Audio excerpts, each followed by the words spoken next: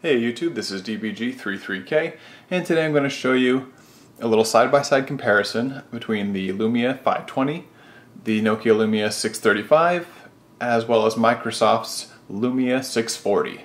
If you've seen some of my previous videos, I have um, already done a little look at the 520. It was a budget phone from, I believe, 2013. Um, today I'm also going to be looking at the Lumia 635, which is the budget phone from 2014, as well as Microsoft's new phone, the Lumia 640. So we're going to start by looking at the size of each, specifically the thickness of each. Uh, first we have the Nokia Lumia 520. The 520 measures at 9.9 millimeters thick at its thickest point, and the Lumia 635 measures in at 9.2 millimeters thick. So there's a comparison for you.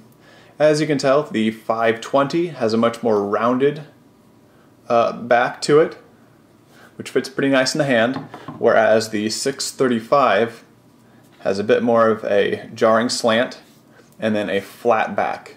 Personally, I really like this. Um, I like the very flatness of it and um, I don't know, some would think it's kind of bar of soap like, um, personally, I like that. I like the fact that it's very flat. Rounded is, is okay, but I prefer flat to round. So that's that at 9.2 millimeters thick. Um, and then the 640 is the thinnest of all three of these at 8.8 millimeters thick. So go ahead and compare the compare the 635 to the 640. Very nice. Sorry about that. Next, we'll look at the weight of each of these devices. The 520 weighs in at 124 grams. The Lumia 635 is 134 grams. And the Lumia 630 is the heaviest of the bunch at 145 grams. As you can tell, all these devices are at different screen sizes. Uh, the 520 is a 4-inch screen. Uh, it is a 480p screen, so that measures in at 235 pixels per inch. The Lumia 635 is a 4.5 inch screen. Now it's also a 480p screen, um, so it's going to measure in at a lower pixels per inch, uh, and that being 221 pixels per inch compared to the 235 pixels per inch on the Lumia 520.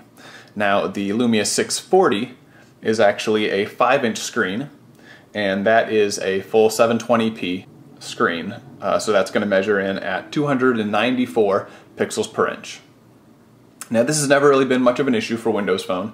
Um, it's always been very good with scaling, so even the lowest resolution still looks very good uh, in its operating system, even on larger screens. Obviously it's going to look better on a higher resolution screen like the 640 has, um, or like other phones, like the, uh, I believe HTC has a Windows phone that's a 1080p screen, um, and I know that some of the rumored Windows 10 mobile phones coming out this fall will have 1080p screens, and if rumors are to be believed, up to 4K screens. So obviously the higher resolution, the sharper the image is going to be.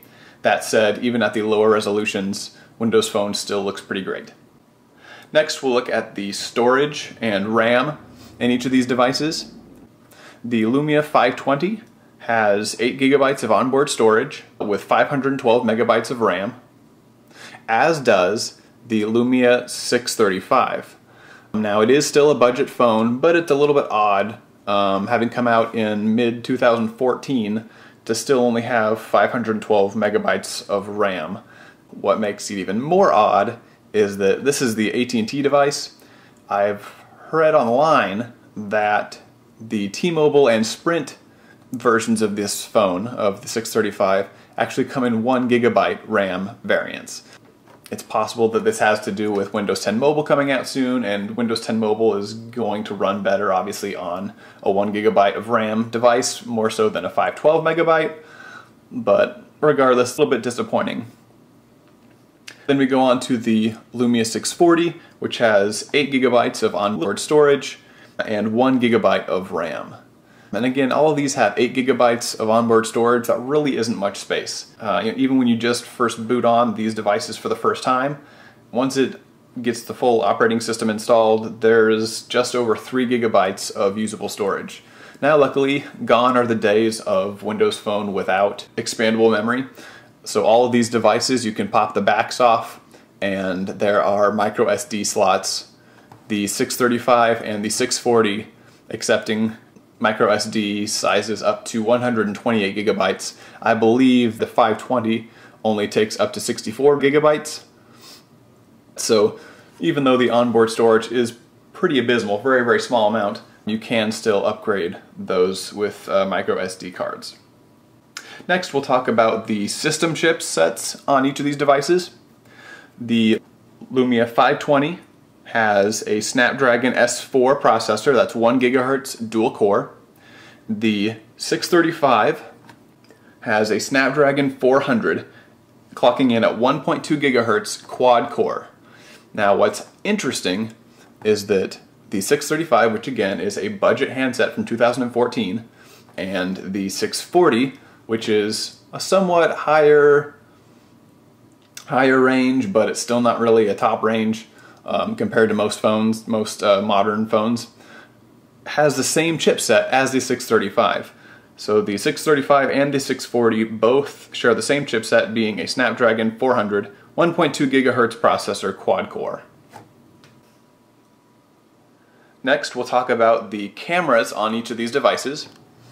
Uh, on the 520, we have a 5 megapixel camera with no flash, and there is no front-facing camera.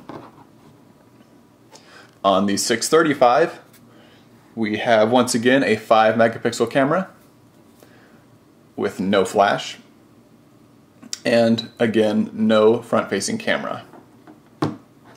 On the 640, around back, we have an 8 megapixel camera with flash. And around the front, you can see there, we do have a camera, front, front facing camera, at 1 megapixel. So there you go, YouTube. That was a side-by-side -side look at the Lumia 520, the Lumia 635, and the new Lumia 640. Here are a few samples of pictures taken from each of the devices. I have a few pictures taken outside, as well as a few pictures taken inside. As you can probably tell, both of these devices take decent to pretty good shots. The 635, having only a 5 megapixel camera, obviously fares a bit worse than the 8 megapixel shooter of the Lumia 640. The 640's imaging contains more lifelike color, whereas the 635's camera can sometimes wash out, overbrighten, or oversaturate the color. Lower megapixel count also leads to blurrier images and an increase in graininess, especially in pictures with lesser lighting. Thanks for watching YouTube. If you enjoyed this video, give me a thumbs up. If you didn't like it, please leave in the comments why you thought so. And if you like my other videos, please subscribe. Talk to you later.